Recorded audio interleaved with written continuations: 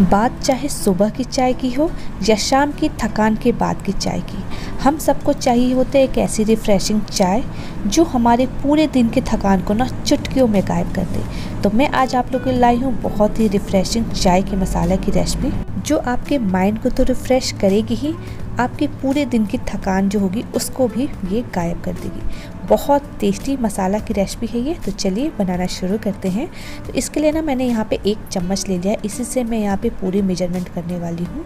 तो ये जो आप डब्बे खरीदते हैं ना, उसमें बहुत ही ईजिली मिल जाता है, वही चम्मच मैं यहाँ पे यूज़ कर हूँ। और इसी चम्मच से मैं यहाँ पे डाल एक चम्मच काली मिर्च, यानी ब्लैक पेपर और मैंने यहाँ पे ले लिया है चार यहाँ पे मैंने बड़ी इलायची लिया है।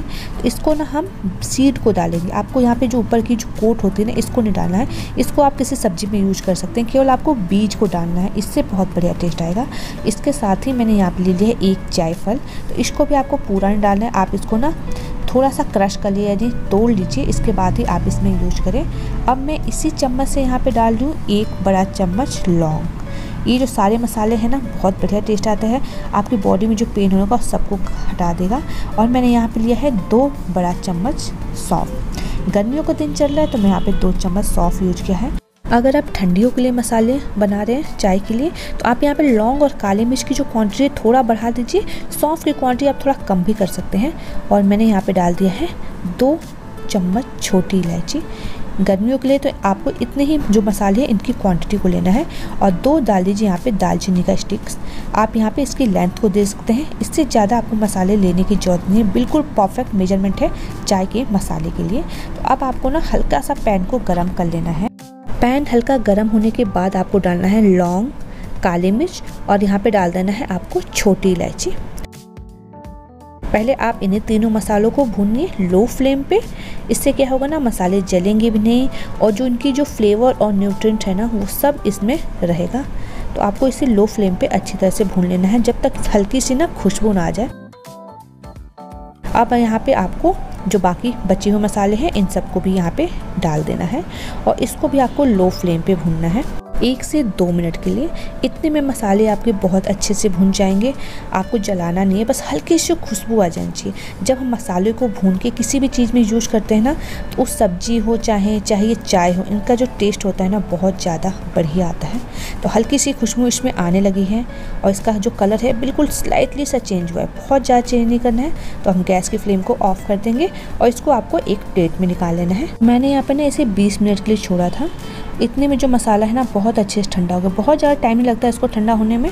जब ये ठंडा हो जाए, तब आप इसे पीसिए, नहीं तो बहुत फाइन पाउडर आप नहीं बना पाएँगे। आपको डालना है यहाँ पे अदरक का पाउडर यानी ड्राई जिंजर पाउडर मैं यहाँ पे डाली हूँ, दो चम्मच। अगर आपके यहाँ पास ये नहीं है तो जो सॉल्ट आता है, आप वो भी हल्का सा रोस्ट कर लीजिए, उसके बाद इसको ग्राइंड कर लीजिए। तो मैं यहाँ पे गर्मियों के लिए बना रही हूँ ना, यहाँ पे इसलिए मैंने दो चम्मच यूज़ किया अगर आप ठंडियों के लिए बना रहे हैं ना तो आप यहाँ पे एक चम्मच और बढ़ा सकते हैं।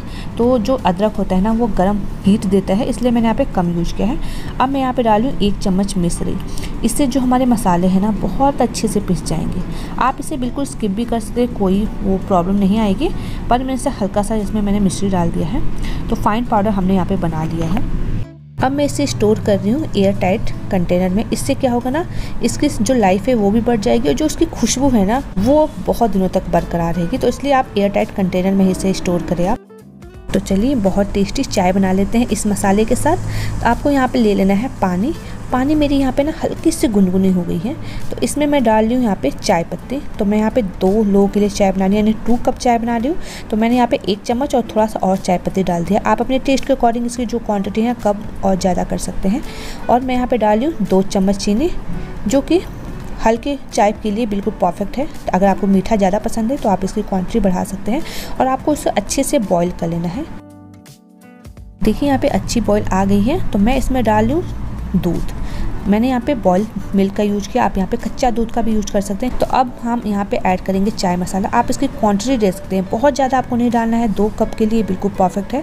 जब दूध में हल्की उबाल आने लगे ना, तब आपको यहाँ पे चाय के मसाले को डालना है। क्योंकि हम चाय का मसाला है ना उसे बहुत देर तक हमें चाय में नहीं पकाना है, क्योंकि हमने मसाले को बहुत अच्छे से भूना हुआ है, उसकी बहुत प्यारी सी खुशबू है तो उसको ख़त्म नहीं करना है। इसलिए आप जब दूध हल्के से बॉईल होने लगे, तब आप चाय के मसाले को डालेंगे ना तो इसका टेस्ट बहुत बढ़िया रहेगा। तो इसको आप अच्छी तरह से उबाल लीजिए।